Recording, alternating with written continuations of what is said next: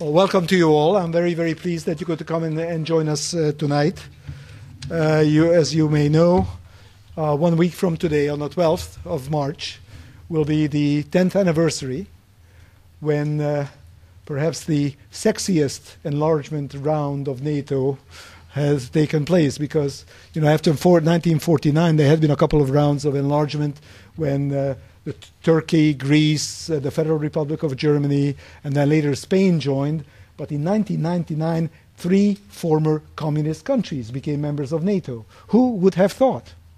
Ten years before, in uh, 89 or the beginning of 90, a politician in Hungary by the name of Gyula Horn, who later became the prime minister, broached, first broached the idea of Hungary joining NATO and you can't imagine the public consternation, the outcry.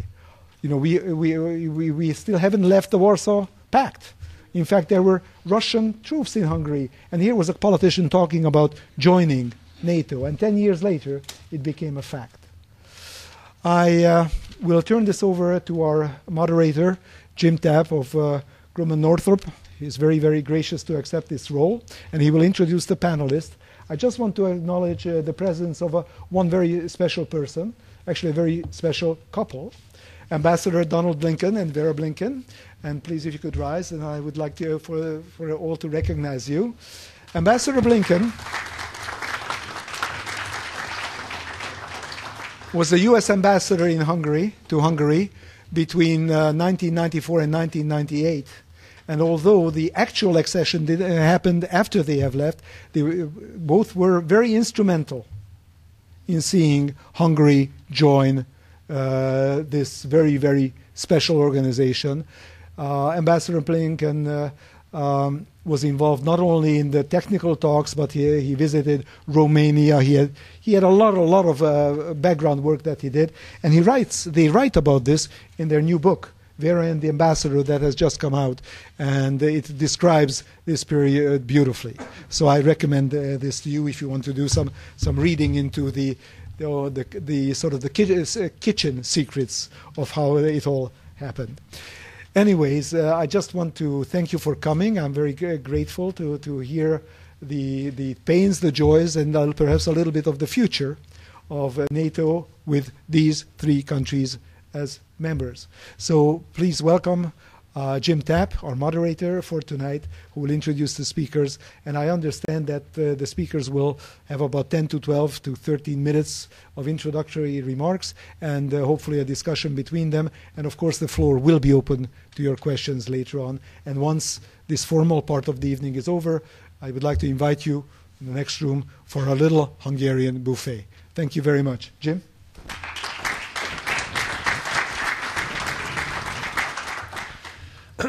well, I'll be very brief here. My uh, my job is to try to keep this on uh, on track. I understand we have uh, we're trying to end around six uh, six p.m. this evening, and uh, each of our speakers will speak for about uh, 10 and a half, 12 minutes, maybe a little bit more. You know, politicians and whatever. um, and at the end, hopefully, we'll have some time for for some questions and some some dialogue and discussion with our with our speakers. Our first speaker will be uh, Professor Charles Gati of Johns Hopkins University. Charles. Our second speaker will be Ambassador Towpik, who is the permanent representative of the Republic of Poland to the United States. and our third speaker will be uh, Ambassador uh, Palouš of uh, the permanent representative of the Czech Republic to, to the uh, United Nations. So you didn't come to hear me, so let's start with uh, Dr. Gati, please.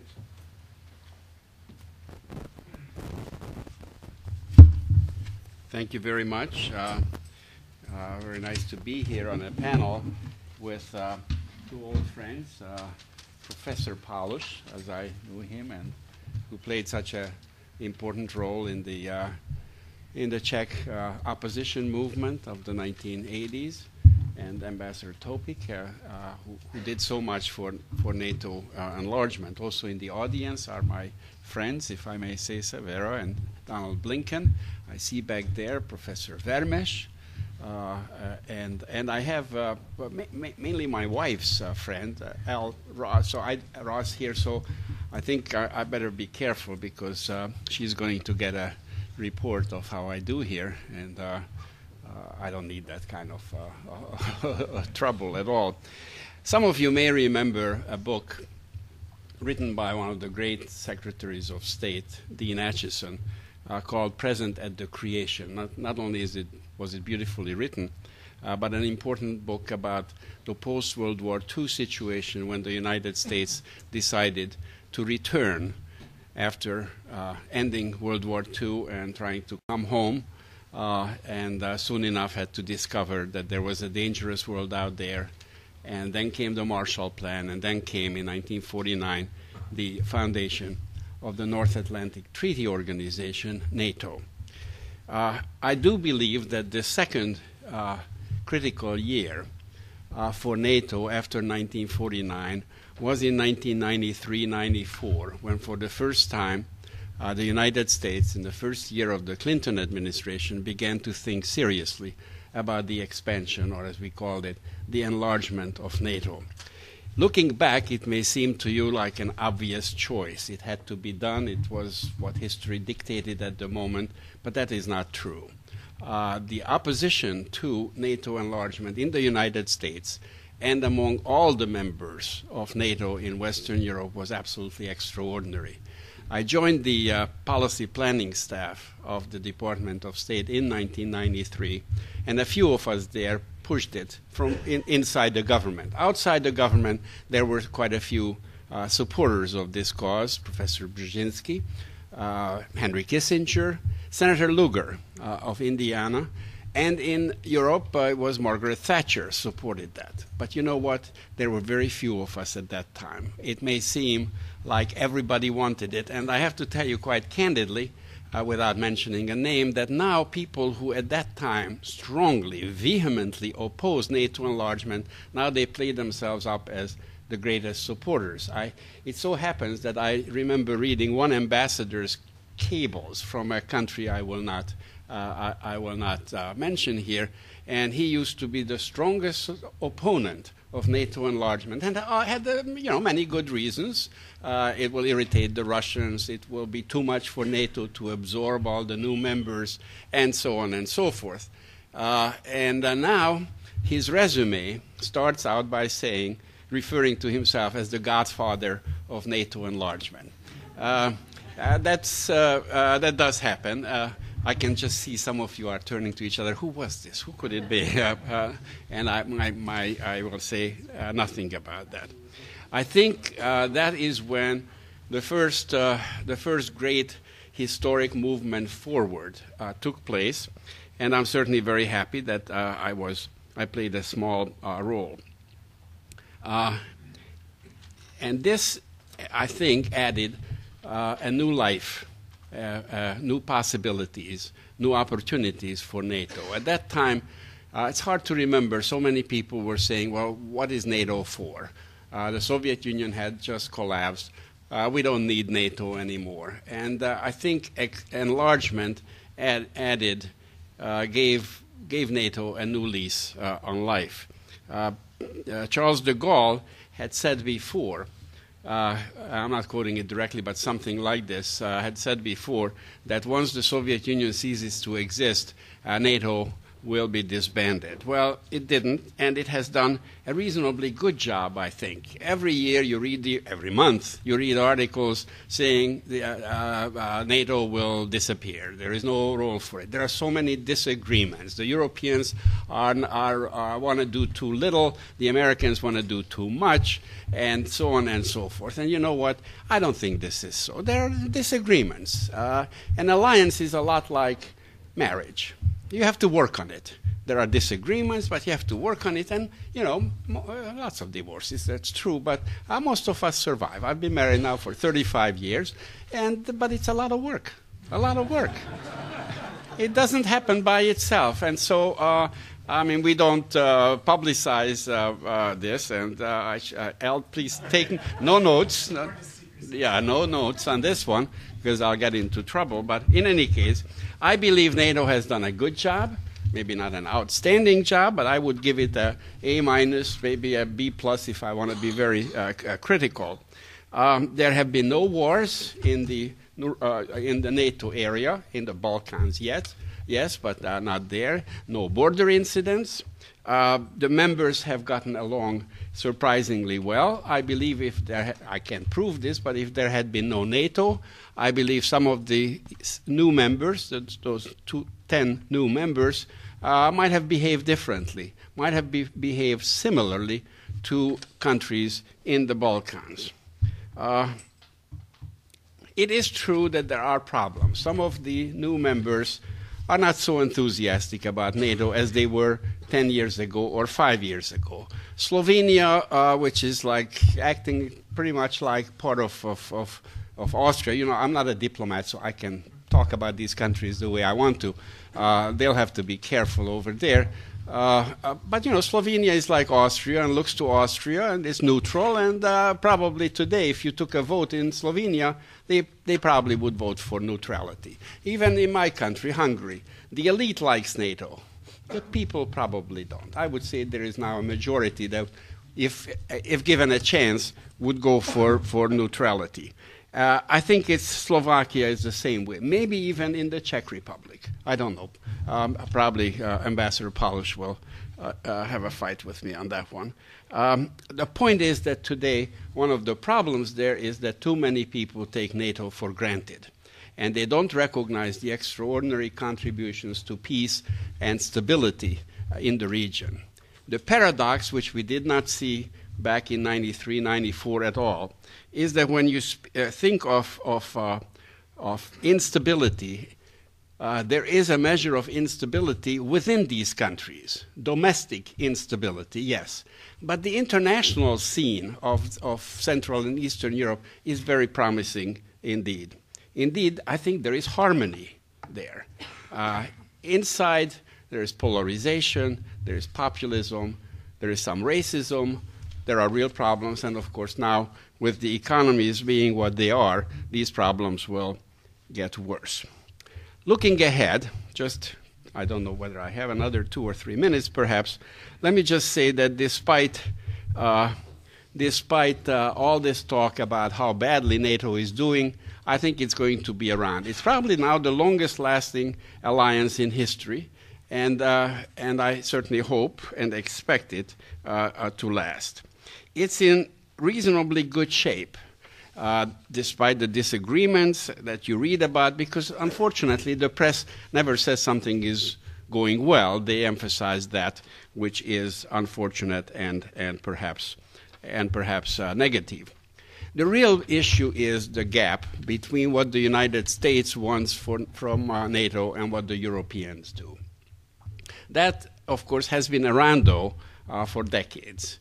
Uh, the United States would like NATO to be militarily more active and make greater contributions. Uh, the, the, Europeans prefer diplomatic approaches, and they would like to see NATO militarily do less. I have the feeling, reading, reading the, uh, the tea leaves of the Obama administration, that this gap probably will, uh, if not close, but at least, uh, at least it will, uh, and it will not disappear, for sure, but I don't believe it will be as much a distraction as it has been. In other words, what I expect is that the United States will, uh, will, will demand less, expect less, and I certainly hope the Europeans will deliver more. And so, somewhere in, in, in the middle, somewhere in between, the two sides might, uh, might meet.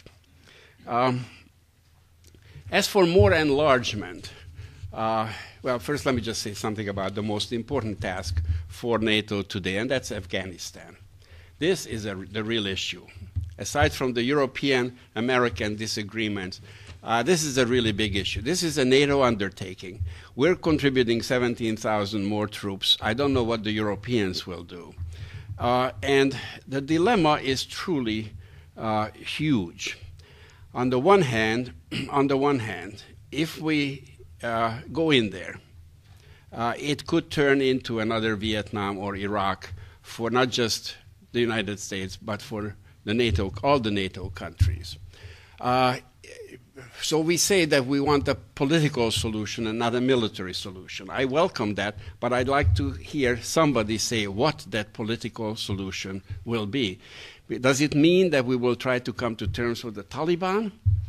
Well, uh, if you know anything about the history of Taliban, that's a little hard for me to imagine what they would agree to that we in NATO uh, could also uh, uh support. So, so, there's a lot of, uh, of cand- candor that's missing in these discussions, but I hope we will find the right solution. This country, for sure, does not need another Vietnam or another Iraq, and it is possible that, that Afghanistan may turn into one. On the other hand, not going in, given what we know about the terrorists there, given what we know about opium production for the whole world, I think is another impossibility. So, luckily, I don't have to decide which way we go, but I hope we will have some wise people who will. As to more enlargement, uh, I, I, may shock some of my friends being such a fervent and strong supporter of NATO enlargement before. I think it's time to slow down. I think uh, Croatia will become a member, Albania. I think with Ukraine, which is the biggest issue, uh, my heart is broken, but my mind tells me that we'd better wait. 20 to 25 percent of the Ukrainian public wants a NATO membership. That's not good enough. Uh, the country is split uh, uh, three three different ways. Uh, they can't get their act together. I think it's time to wait. Uh, and the time will come, though, when that very important, critically important country could uh, could join NATO. So I think this is now, and I'll end on this. I think this is time for maintenance rather than some great historical steps that we began in 1993 94. Thank you very much.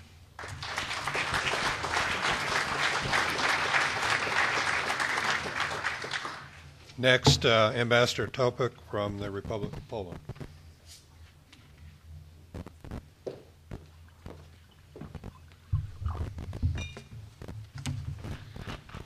Thank you very much for inviting me to, to join this afternoon discussion. And uh, let me share with you some thoughts on, on this occasion. Uh, my first thought is why the enlargement of NATO happened despite this opposition which existed in many old NATO countries and, and but despite of this it happened actually this is what, what Professor Gati mentioned. Uh, Professor Gati started with reference to book, and let me also refer to Ron Asmus' book, Opening NATO's Door, and uh, where he wrote that enlargement of NATO was not unavoidable, and the success of the efforts to enlarge NATO was not at all certain. Referring to this in his book to his Central and Eastern European friends, he stated that the idea to enlarge NATO was born in their minds and in hearts. It was they who kept faith alive and fought for this ambitious goal, even though the West thought that it was impossible. Ron Asmus concluded that these people were an aspiration to all, and that in the West there was no reason no real incentive to move the borders of the alliance to the east. Indeed, NATO enlargement was not certain. It happened, I believe, mainly as the result of thoughts and efforts of the leaders and diplomacy of the three Visegrad countries. After the Warsaw Pact collapse, they decided that the membership in NATO would be the best step forward towards connecting this region with the Western Europe as well as the best guarantee of security and development of these of the countries. In the West, as Professor Gatt mentioned, the, uh, the idea was initially met with reservations. These reservations were gradually removed mainly due to the determination and persistence of the leaders and diplomats of the Visegrad Group countries. Also, due to the very huge support of public opinion in our countries for joining NATO, In Poland in 1997, the support was about 80% of public opinion was in favor of joining NATO. And was very important role was played the involvement of emigre communities of our countries in old NATO countries and especially in the United States. Also, I believe the credibility of foreign policy conducted by Poland, Czech Republic, and Hungary at that time played a very critical role. A part of efforts to join NATO, this policy was mainly directed at establishing new and constructive relations with their neighbors, and also, for the first time in history, at creating regional cooperation in Central Europe. And I believe this created confidence and convince many politicians in the Western countries that new members can strengthen and not weaken NATO. The evolution in opinion of NATO member states was expressed in gradual adopting the slogan of building Europe, I quote, whole, free, and at peace. My second point is that the desire of our countries to join NATO was not an attempt to reverse or to shift alliances and to replace Warsaw Treaty with NATO. The first reason behind our efforts was to overcome the division of Europe. And in fact, discussion concerning enlargement, in essence, was not about alliances in the future, it was mainly discussion on the future of Europe. Our countries wanted to overcome not only the post Yalta order, but also historical division of Europe. The division that existed in the minds of politicians and public opinion of the West for, I would say, centuries.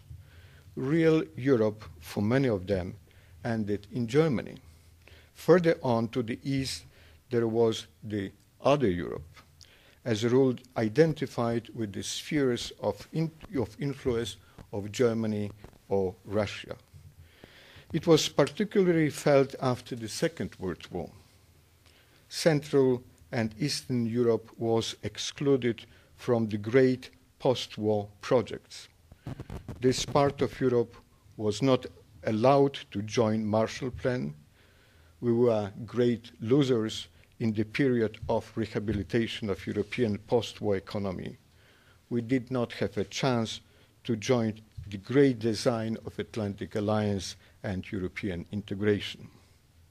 And I believe that NATO enlargement has become, in fact, one of the most promising and prominent steps towards the overcoming this not only post war but historical division of Europe. My third point is that NATO enlargement led also to the deep transformation and adjustment of the alliance to the post Cold War realities. After enlargement, and I would say to certain extent, uh, to, to, to a certain extent because of the enlargement, a kind of a what I call NATO system has been built around this organization. It comprises today not only the NATO as the alliance of the 26 countries, but also the Euro Atlantic Partnership Council and the Partnership for Peace program, encompassing additional 23 countries and many from Central Asia. It includes also the mechanism of special relations with Russia, with Ukraine, with countries that participate in so called Mediterranean dialogue. And there are also special relations uh, in the form of high level meetings, participation in NATO exercises with so called contact countries like Australia, New Zealand, Japan, Republic of Korea. The NATO system has become, I believe, a fundamental instrument not only for building international stability, but also in organizing broad political and military cooperation, both transatlantic but also covering a part of Asia. And I believe that this NATO system contains great potential and constitutes an indispensable element of the security arrangements not only in our continent but also in the global context and must be kept and reinforced. And I hope today's decision of NATO countries will revitalize the NATO-Russia Council. My fourth point is that NATO, and I completely agree with Professor Gati, continues to play a crucial role in the security of, of Europe and not only of Europe. And this is, I would say, very strongly felt in Poland, but I understand also in the Czech Republic and Hungary. Apart from its role of, of the effective defense alliance, NATO constitutes also a community of states sharing the same values and beliefs in democracy and human rights. Sometimes we are discussing about so-called league of democracies, but in fact NATO is already such a league of democracies. And we strongly believe that the debate on the new strategic concept we will that we will start later this year will contribute to NATO's future role to the benefit not only of the member states but the whole Euro-Atlantic security system. And it seems, to, it seems to me that it's a good sign that the first overseas trip of President Obama is exactly to Europe and including NATO summit, which will celebrate the 60th anniversary of NATO. Concluding, it seems to me that today, while reflecting upon the meaning of the invitation of Poland, the Czech Republic, and Hungary to join NATO 10 years ago, we can say the following. Undoubtedly, it was a historical decision.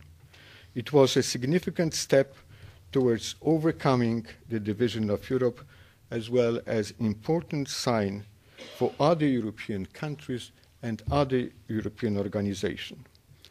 And it assisted in the future our efforts to join European Union. Membership in the alliance also strengthened democracy in Central Europe and democratic control of military. It helped to modernize military forces of our countries. It helped maintain security of our countries, and for the first time, we have become the US allies, and we entered politically and military integrated group of peaceful and democratic states. From the alliance perspective, its enlargement in 1999 was a significant part of its transformation. It increased the safety or safety zone in Europe. It strengthened transatlantic ties. It increased the union of similarly minded countries in facing new security threats. In conclusion, from Poland's, I believe, Czechs and Hungarian views, as also from the Atlantic Alliance perspective, the admission of our three countries must be assessed as highly positive development. And even one can ask the following question. What would have happened if Central European countries had remained outside the alliance? If they remained a kind of a gray zone and a region of constant rivalries for influence?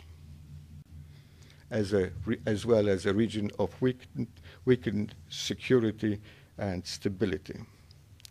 Our road to European integration would have been much longer and harder. And I am afraid also the situation in Europe would be very different.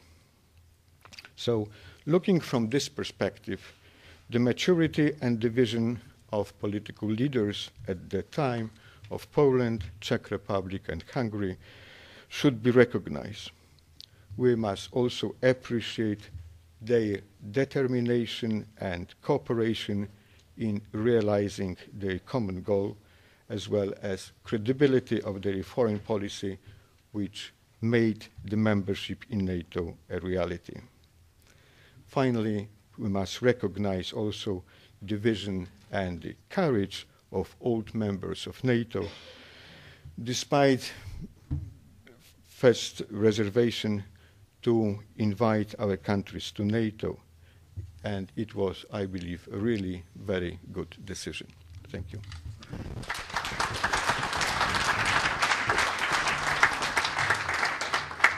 Thank you, sir. And our uh, third speaker is Ambassador Palouš from the uh, Czech Republic. Thank you very much for having me here on this special occasion. It's an advantage and disadvantage at the same time to speak as the last because many things have been said and obviously uh, previous speakers inspire you. So I'm now afraid how I can squeeze my talk to uh, this 10, 15, 12 minutes. Obviously, I like uh, very much fights with Charles Gati. It's my uh, favorite intellectual exercise, but I'm afraid today uh, maybe our differences will be not as big as uh, maybe could be under different uh, circumstances. First of all, uh, it's a good to be reminded here today, as we speak, uh, there was a ministerial meeting uh, of NATO in Brussels with Secretary of State Clinton for the first time participating.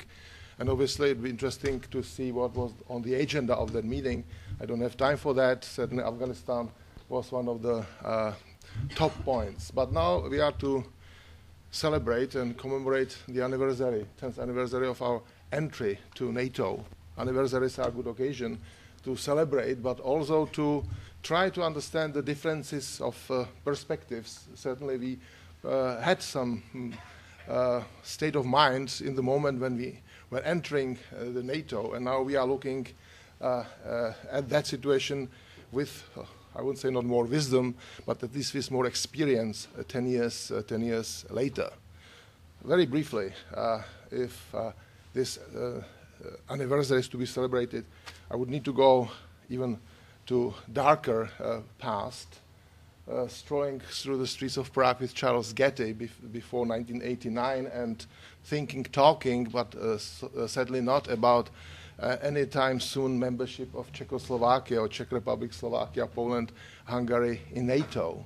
And then, right after the Velvet Revolution, the first months of 1990, I remember actually I was most likely the first Czech diplomat uh, who, uh, and, uh, who was uh, present at the headquarters of NATO in Brussels with a very fresh diplomatic passport. And I remember it was the time of London summit of NATO that uh, invented the first concept. It was called uh, uh NATO states were asked to establish diplomatic liaison with uh, uh, former communist countries. And then the process that started onwards, uh, frankly speaking, in that moment, the NATO's enlargement was not in circulation of ideas. There were other proposals. CSCE or OSCE was very, very uh, popular in these days, and Russian or Soviet proposal then was to merge, to do kind of merge between Warsaw Pact and NATO. Uh, so I think that if we want to understand the dynamics of the process in NATO, we also need to remember what was what happened with Warsaw Pact, what kind of decisions were taken. A little later, uh, 1992, 1993, and onwards. I agree with Charles Gati, uh, no fights, uh, that uh, important decisions were taken I would say, NATO summit in uh, January of 1994 that invented the Partnership for Peace as a, a kind of working formula for rapprochement. But we also should remember, and it's very important, that uh, in the months before, uh, uh, Russian, already not Soviet, but Russian diplomats, Minister Kozyrev, came with a, a, new concept that, again, had not been before in circulation, so-called near abroad. Uh, which uh, wanted to define uh, the Russian area of geostrategic interest in their neighborhood. And in this moment, I can think about one very important article that was published. Ron Asmus was certainly one of uh, its authors, together with Joseph Kugler and Steve Larrabee, which basically defined, I would say, three dimensions of the problem. And these three dimensions are with us till today. Uh, it, it, discussed the uh, transformation of the system in Europe uh, in three uh, dimensions. First, EU first. Could it be possible that uh, European Union would be enlarged and drive all other transformations, or NATO first? And the third was very interesting option was called Russia firsters. Those who would be uh, thinking first about the Russian perspective. I think that we still have these three here EU, NATO, and uh, Russian perspective on the process. I think that empirical answer to uh, our question has been given. NATO came first in the first wave.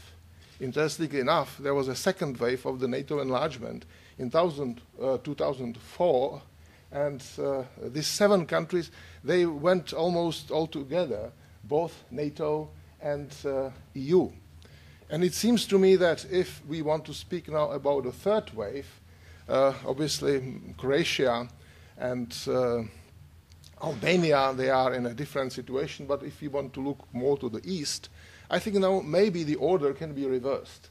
That uh, talking to diplomats from Moldova, uh, Ukraine, Transcaucasian republics, I think that uh, EU uh, is maybe a safer option for that moment but not excluding, uh, maybe at some point later, uh, uh, the enlargement of NATO as well. so this would be my, and this would be my remark to that. So we really need to see the dynamism of the process in context. And there was a third concept that appeared uh, on the way to our membership in NATO, so called out of area actions. I think it was uh, Senator Lugar who invented this one. Uh, he, it was a beautiful slogan out of area or out of action. He wanted simply to say that not only uh, actions of NATO, defensive action, uh, according to, uh, based on the Article 5 of Washington Treaty, but some other activities of NATO needs to be considered.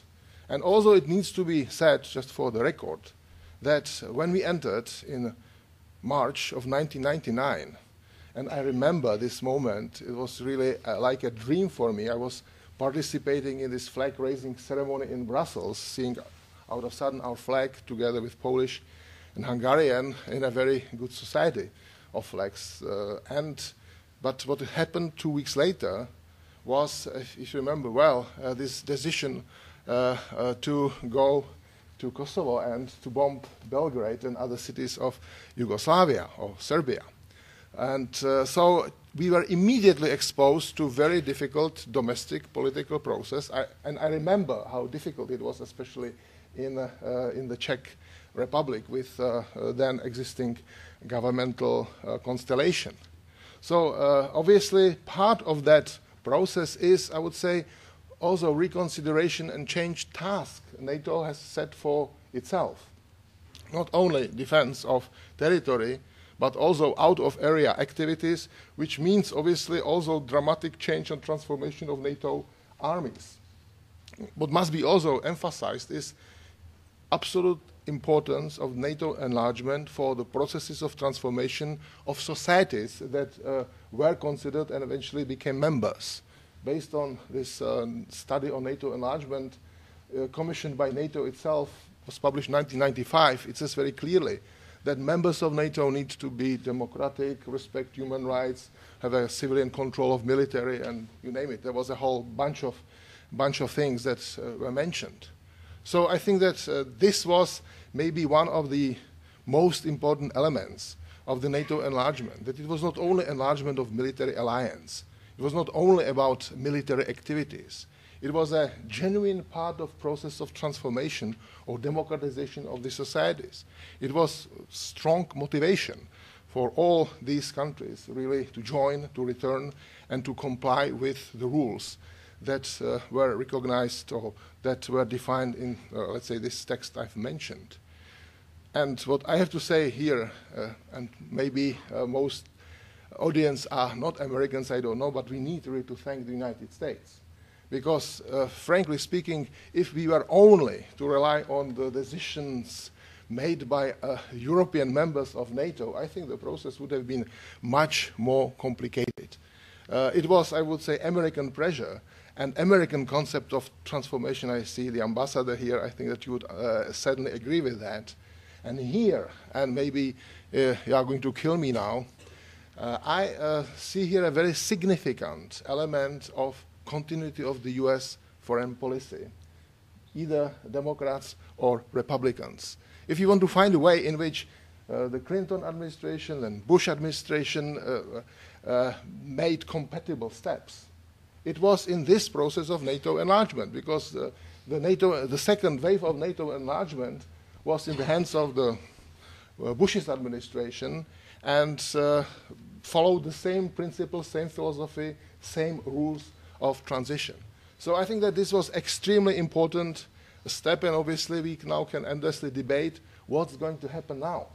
Uh, this third wave, if we want to talk about that, uh, I need to say for the record, before the first uh, wave of NATO enlargement, Czech Republic, Poland, and Hungary, there was a zero wave. Uh, unification of Germany as a prerequisite for this process, because then East Germany became a NATO territory out of uh, sudden, and obviously it was maybe the crucial moment in the whole process. So going back to this third wave, obviously uh, what needs to be emphasized is not when, but uh, Article 10 on Washington Treaty uh, on open door policy. That there is a no, and it was repeated today by uh, Secretary Albright, that uh, uh, European countries have a right to apply for membership in NATO if they meet certain conditions, and that there is a no external uh, decision maker that can influence that process from the outside. It's obviously a sensitive formula for uh, defining good relationships with other major players like the Russian Federation. But I think that it's very important that uh, uh, this conditionality still, uh, that, it is, that the open door policy of NATO is emphasized. And it is again a message for countries like Georgia and others. Uh, obviously, they need to make uh, their own decisions and sort out their own political problems, but they should not be left behind uh, beyond any new iron or whatever kind of curtain that exists. So I think that it, is, uh, it, it again is something what makes NATO uh, extremely important alliance. Uh, last thing I would like to say is new tasks. Obviously, I said Washington Treaty and uh, the activities connected with that. For the record, again, for the first time, this was uh, invoked after 9-11 by the European members of NATO, and then I think the American response was uh, uh, what it was. Uh, it was a collective effort uh, to see the attack on the United States as an attack on all, on mem all members of NATO. Very important.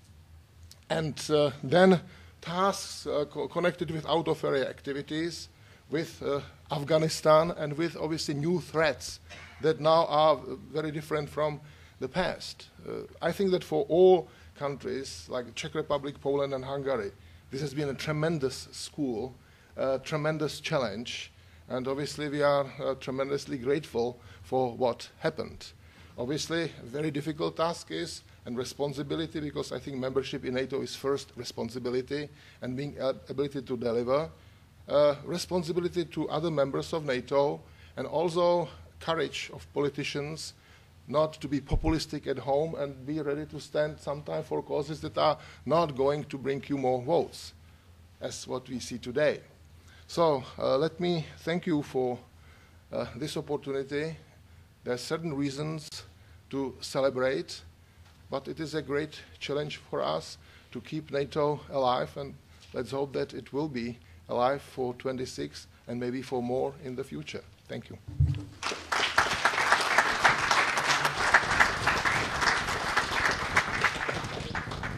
Well, thank you very much. Uh, I think our panelists have uh, been spoken directly from the heart on their feelings with regard to the, the alliance in 10 years after the uh, second expansion and uh, what almost 60 years after the forming of the of the alliance itself.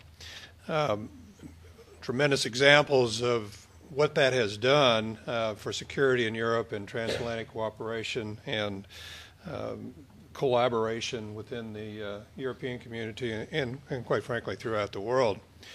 Uh, interesting, we do certainly appreciate the support uh, to our country uh, following 9 11 and uh, in operations out of, out of the NATO area in Afghanistan and elsewhere. Uh, I'm going to open the floor to questions, but um, to get things started, I'd like to ask one. And uh, it kind of pivots off of uh, something that uh, Professor Gati had to say with regard to the U.S. and NATO relationship uh, of demanding less, expecting uh, less, and perhaps NATO delivering more. Um, my question would be here we find ourselves in a very stressful, stressful world. Um, not just because of the operations in Afghanistan, but also because of the world economic situation.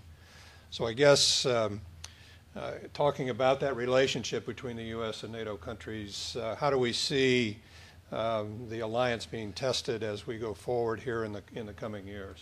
And I'll start with Professor Gati. We do have mics here. I don't know whether that works. I don't know what we're supposed to do. What are we supposed to do? This? I think they can see us if yeah. we, we get up there.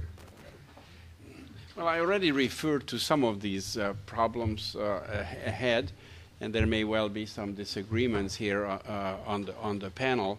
Uh, um, but I'm rather hopeful that NATO will work out the basic issue at hand, which is uh, the gap between what the United States would like to see NATO do and what many European countries would like to do. I'm certainly not referring to Poland uh, and the uh, Czech Republic, uh, or for that matter, Hungary. They have they have done they have made tremendous contributions, and in some ways, I think they are closer to the many issues. They are closer to the American expectations than they are to the, the West European, uh, particularly the German uh, expectations. Um, I just like to say, before I say another word or two about Afghanistan, perhaps, that the, uh, the, the idea of further enlargement uh, has to be a rational uh, decision. You have to take into account not just what some of us feel uh, about the right of European countries. I do agree very much with Ambassador Palouš on that. I think if Ukraine wants to join NATO, and if it uh, if it has the qualities that NATO insists on, I see no reason uh, why we should not go ahead just because the Russians don't like the idea. It's not their organization, it's ours. And they lost the Cold War. Uh, and uh, and I think uh, I think they should learn the lessons from that so that they would focus on what they can do in the world. I think we should not celebrate their, uh, their defeat. It's a humiliated country. It has enormous difficulties. It has a population loss of about 750,000 people a year. Um, and uh, if you travel in, in, uh, in, in, Russia outside of Moscow and you try to drive there, try some of those roads to understand that Russia remains today a country whose strength is in nuclear weapons and nothing else, uh, especially given the the, the declining uh, price of, of energy. So, under these circumstances, we should not celebrate and we should seek cooperation, but they have no veto. And this, this was an issue back in 93, 94. They have no veto on what NATO would do.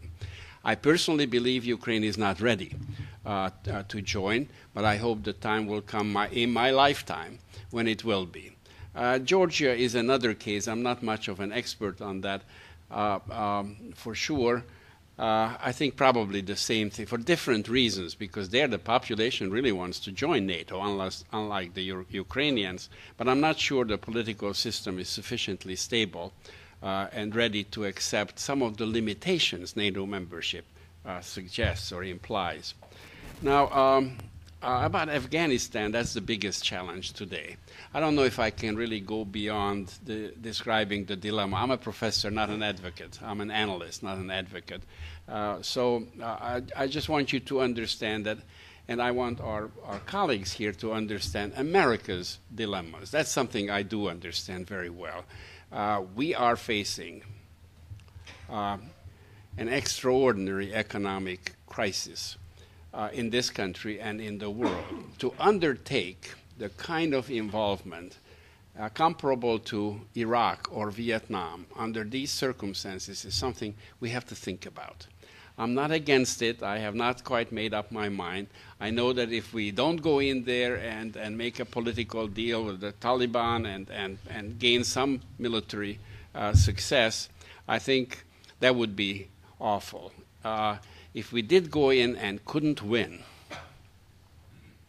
uh, I don't want to see American for This is a, if I may say, an audience of my uh, my generation uh, here.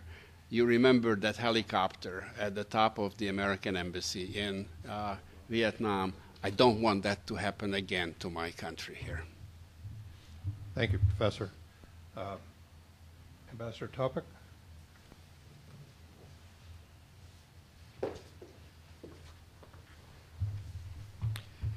Well, it seems to me in the future development of NATO, three factors are of uh, main importance.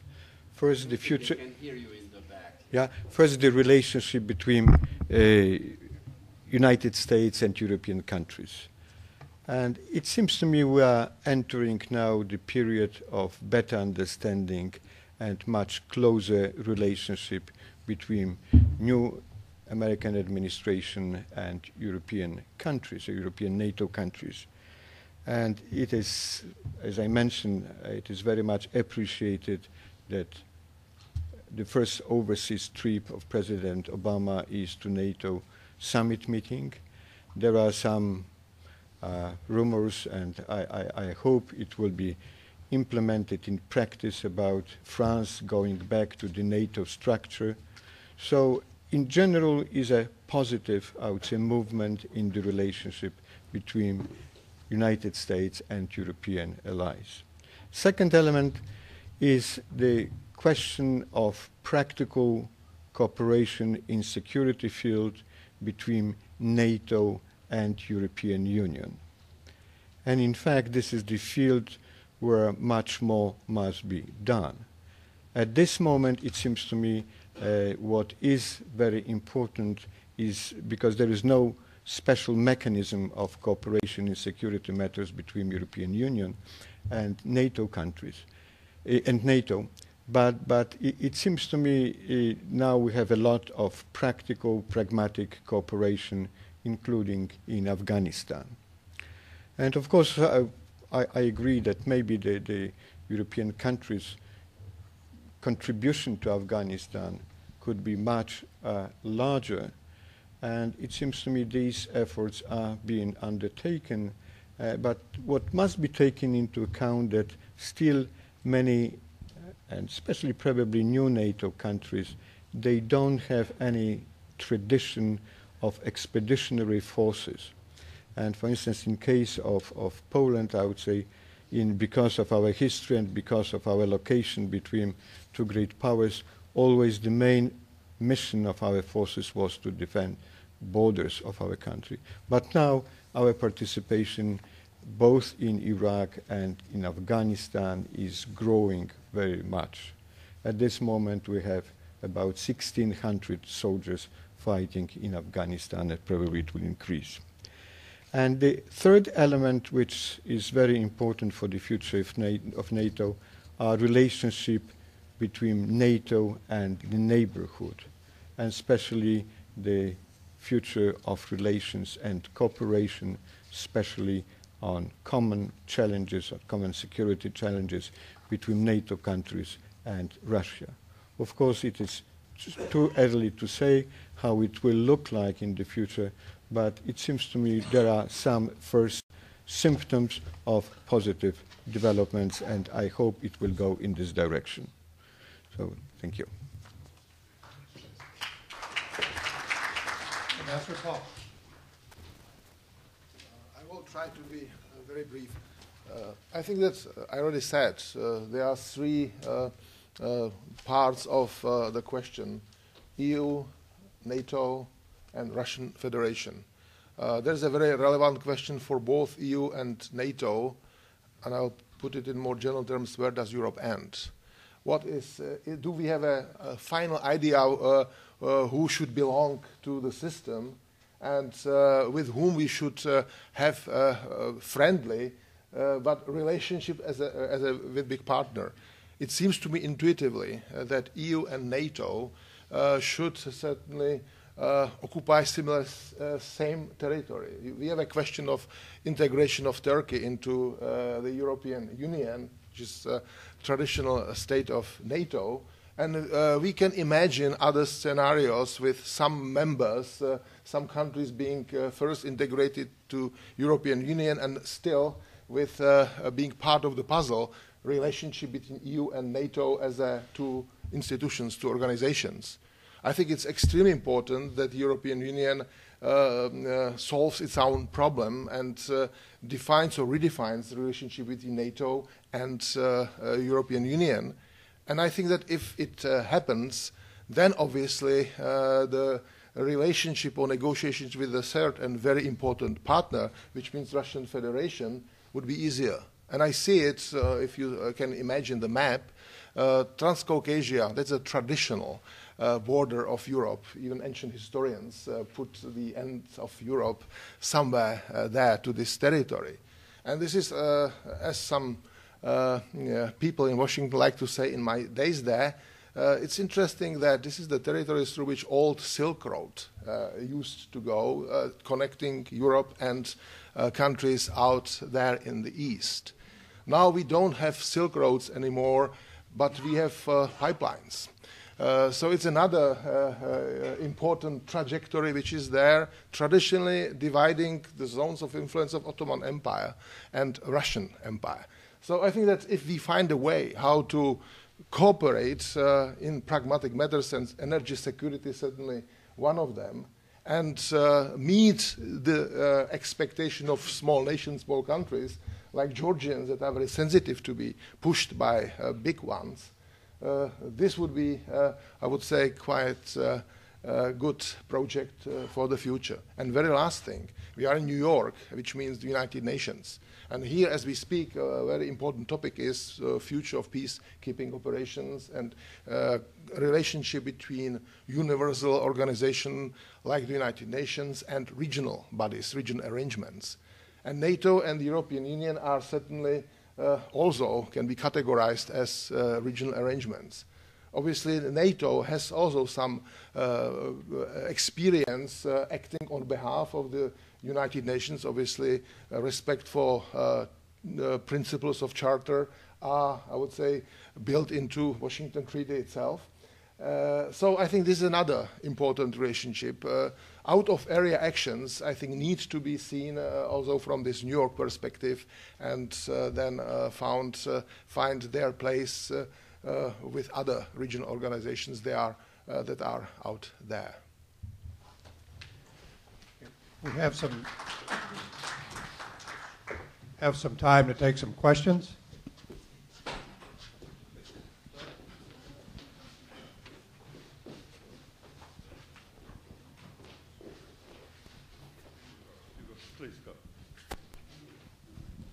Well, uh, thank you very much. My name is Patrick Hayford. I work at the UN on Africa. Um, specifically on this question of out of area action. Um, I know NATO has no mandate relating to Africa, but we are all witness to what's happening on this question of piracy off the coast of, of, of Somalia. And there are some observers who um, feel that um, we are going to progressively be confronted with other problems of fragile states in some parts of Africa essentially falling apart. And what is the, uh, this is addressed to Professor Gati in particular, how is NATO likely to uh, react to the unfolding of situations such as this problem of piracy uh, off the coast of Somalia, which become threats, real threats to international commerce or international peace and security. Again, I ask this knowing very well that NATO really has, is not supposed to have anything to do with Africa, but what if things get really bad in certain areas? What is NATO's role likely to be? Thank you.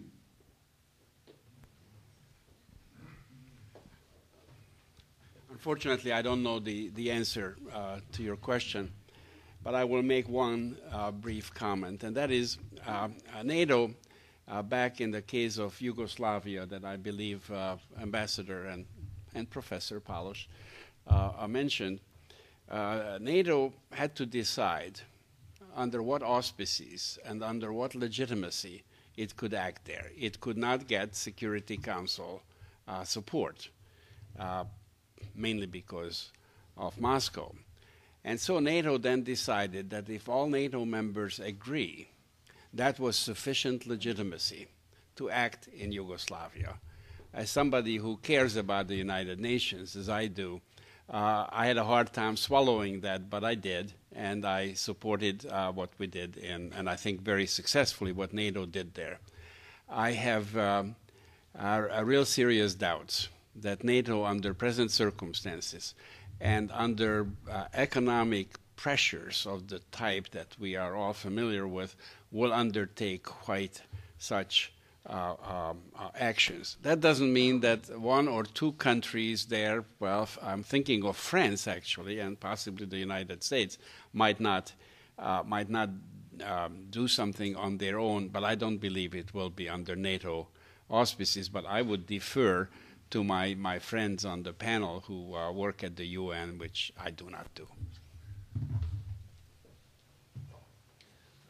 I'm not uh, prepared in detail, but what I know about, uh, first of all, uh, uh, piracy is uh, maybe one of the oldest crimes um, under international law in the open sea. And so it certainly needs a specific arrangement. There is a question then of uh, jurisdiction and uh, responsibility. There's operation uh, uh of the United Nations, AMISOM, uh, uh, there, which basically is a traditional peacekeeping operation, and these operations were not used to operate on the seas. are, it's not a, I think United Nations is not very strong in naval operations, so there is an operation of European Union there, and some European countries that are Uh, obviously uh, having at their disposal uh, capabilities are operating there. But uh, uh, this would be a great, I think, challenge for NATO. I think it would be doable. I can speak for the NATO commanders, but it's not on at that uh, moment. Uh, obviously, uh, Africa is a mm, continent which ba basically is a territory of many peacekeeping operations today, and there, there, there, was a European operation there in the Democratic Republic of Congo. Now there is a transition in, uh, in Chad, uh, Minurcat, uh, and uh, we can name other uh, situations in which we see the context of the European and uh, e UN operation. Actually, in Afghanistan, there is a uh, UNAMA, uh, the operation of the United Nations, working closely with the coalition uh, Operation Enduring Freedom and ISAF. So uh, we have here these combinations today, and I think that uh, all mm, participants need to be creative, flexible, and follow the basic objective of that particular operation. Could I be next? If I could add to this uh, one very short comment, it seems to me that the cooperation between uh, between uh, United Nations and regional cooperation and regional organization is uh, uh, is growing. And in fact, in Africa, we have cooperation between United Nations and African Union, and we have also cooperation between United Nations and European Union. And it seems to me if the Security Council address NATO countries with such a request, probably it would be considered very carefully. I don't know what would be the answer but it, it seems to me that NATO, from its own initiative, maybe will not be able to take such a step. But if there is a request from the Security Council, probably your response uh, would be positive. Thank you.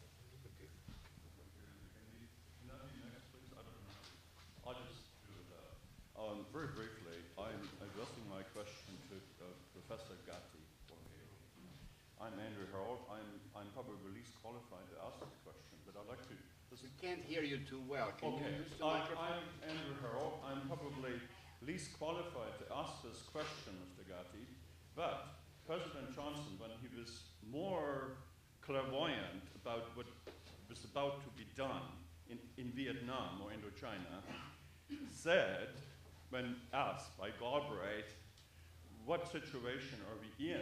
He said, in his text in fashion, uh, he said, well, there's no light because we don't know where the tunnel is. Galbraith had asked him, do you see any light at the end of the tunnel? And I'd like to use that metaphoric construct to guide us into the present with respect to NATO and with respect to Afghanistan. All of the non-military analysts say it's a sinkhole. It doesn't even have the configuration of a tunnel. Now good, you can be myopic and say NATO will be able to do it. Uh, I just want to inject this kind of mentality. Uh, this this uh, certainty about NATO being almighty is, uh, in my opinion, a very uh, risky um, analysis. So you may comment, but you don't have to. But I want to make that comment. Thank you for, for the question. Is this one? Yes. Thank you for the question. Uh, I, I, don't think I can go much beyond what I said on the subject. Uh, I, I, am sympathetic and, uh, uh, to your view, and I, I, know you are concerned. Many other Americans, I am concerned. Uh, my question is not whether we should win there. The question is whether it's winnable. Uh, but before I reach your conclusion, which I have not yet reached, you know, you have to consider the alternative.